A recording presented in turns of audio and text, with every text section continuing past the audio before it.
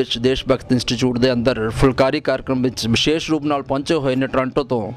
ਸ਼੍ਰੀ ਜੋਗਿੰਦਰ ਸਿੰਘ ਜੀ ਬਾਸੀ ਜਿਹੜੇ ਕਿ ਉੱਥੇ ਰੇਡੀਓ ਟੀਵੀ ਪੰਜਾਬੀ ਚਲਾ ਰਹੇ ਨੇ।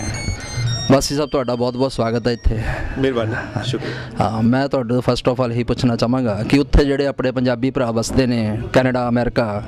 ਤਾਂ ਉਹਨਾਂ ਦੇ ਜਿਹੜਾ ਐਂਟਰਟੇਨ ਕਰਨ ਲਈ ਤੁਸੀਂ ਉੱਥੇ ਕੀ ਕੀ ਕਰ ਰਹੇ ਹੋ?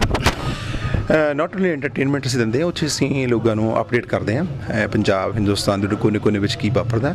ਗਾਉਂਦਾ ਪੰਜਾਬ ਰੇਡੀਓ ਸ਼ੋ ਜਿਹੜਾ ਇਨਫੋਰਮੇਟਿਵ ਪ੍ਰੋਗਰਾਮ ਹੈ, ਜਿਹੜਾ ਕਿ ਪਿਛਲੇ ਅਸੀਂ 25 ਸਾਲ ਤੋਂ ਬ੍ਰਾਡਕਾਸਟ ਕਰਦੇ ਆ ਰਹੇ ਹਾਂ। ਅਹ, ਇਹੀ ਨਹੀਂ ਕਰਨਾ, ਬਲਕਿ ਹੋਰ ਵੀ ਰੇਡੀਓ ਚੱਲਦੇ ਨੇ, ਬੜੇ ਅੱਛੇ ਚੱਲਦੇ ਨੇ। ਔਰ ਰੇਡੀਓ ਟੈਲੀਵਿਜ਼ਨ ਨਾਲ ਨਾਲ ਮੈਂ ਪਿਛਲੇ ਕੁਝ ਕੁ ਸਮੇਂ ਤੋਂ ਪ੍ਰਿੰਟ ਮੀਡੀਆ ਵਿੱਚ ਵੀ ਆਇਆ ਔਰ ਹਿੰਦੁਸਤਾਨ ਪੋਸਟ ਨਾਮ ਦਾ ਅਖਬਾਰ ਜਿਹੜਾ ਵੀਕਲੀ ਉਹ ਮੈਂ, ਅਹ, ਆਪਣੇ ਪਾਠਕਾਂ ਤੱਕ ਪਹੁੰਚਾਉਂਦਾ ਇੱਕ ਬਾਸੀ ਸਾਹਿਬ ਜਿਹੜੇ ਸਾਡੇ ਪੰਜਾਬੀ ਭਰਾ ਉੱਥੇ ਰਹਿੰਦੇ ਨੇ, ਉੱਥੇ ਦੀ ਜਿਹੜੀ ਕਲਚਰ ਹੈ, ਕੈਨੇਡਾ, ਅਮਰੀਕਾ ਦੀ,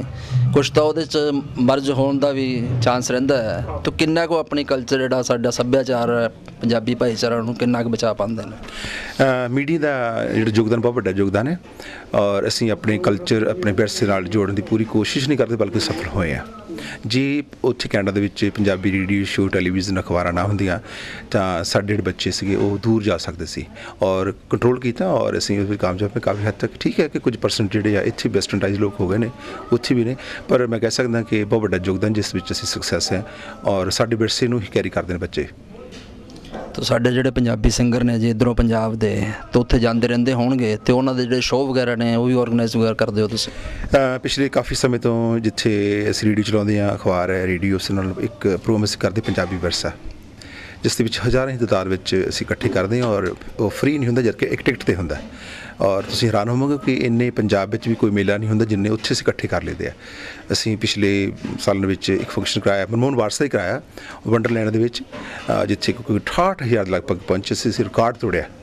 ਉਸ ਪਾਰਕ ਦੇ ਵਿੱਚ ਨਾਨ ਫੰਕਸ਼ਨ ਵੀ ਹੁੰਦੇ ਨੇ ਇੰਡੀਅਨ ਤੇ ਇਹ ਜਿਹੜਾ ਫੰਕਸ਼ਨ ਹੋਇਆ, ਤੁਸੀਂ ਰਿਕਾਰਡ ਤੋੜਿਆ ਸੋ ਇਹ ਕਹਿਣ ਦਾ ਭਾਵ ਹੈ ਕਿ ਇੰਨੀ ਸਾਡੇ ਕੋਲ ਸ਼ਕਤੀ ਔਰ ਇੰਨੇ ਅਸੀਂ ਪੰਜਾਬੀ ਉੱਥੇ ਪਹੁੰਚ ਚੁੱਕੇ ਪਿਆਰੇ ਦਰਸ਼ਕੋ, ਬੜੀ ਖੁਸ਼ੀ ਦੀ ਗੱਲ ਹੈ ਕਿ ਸਾਡੇ ਪੰਜਾਬ ਦੇ ਮਹਾਨ ਸਪੂਤ ਜੋਗਿੰਦਰ ਵਾਸੀ ਜੀ ਵਰਗੇ ਐਸੇ ਸ਼ਖਸ ਵੀ ਨੇ ਜਿਹੜੇ ਕਿ ਆਪਣੀ ਦੇਸ਼ ਦੀ ਮਿੱਟੀ ਦੀ ਖੁਸ਼ਬੂ ਹੈ ਜਿਹੜੀ ਇੱਥੇ ਹੀ ਨਹੀਂ, ਬਾਹਰ ਵਿਦੇਸ਼ ਵਿੱਚ ਜਾ ਕੇ, ਕੈਨੇਡਾ, ਅਮਰੀਕਾ ਵਿੱਚ ਵੀ ਜਾ ਕੇ ਉਸ ਨੂੰ ਪੂਰੀ ਤਰ੍ਹਾਂ ਵਿਖੇਰ ਰਹੇ ਨੇ ਔਰ ਸਾਡਾ ਜਿਹੜਾ ਸੱਭਿਆਚਾਰ ਹੈ, ਉਹਨੂੰ ਜਿੰਦਾ ਰੱਖਿਆ ਹੋਇਆ ਹੈ। ਮੈਂ ਰਾਜਨ ਸ਼ਿੱਬਰ, ਕੈਮਰਾਮੈਨ ਨਾਨਕ ਮਹਿਤਾ ਨਾਲ, ਫਿਰਤੂ ਦਾ ਕੈਮਰਾ ਵੱਲੋਂ ਇਹਨਾਂ ਨੂੰ ਬਹੁਤ ਬਹੁਤ ਵਧਾਈ ਦਿੰਦਾ ਹਾਂ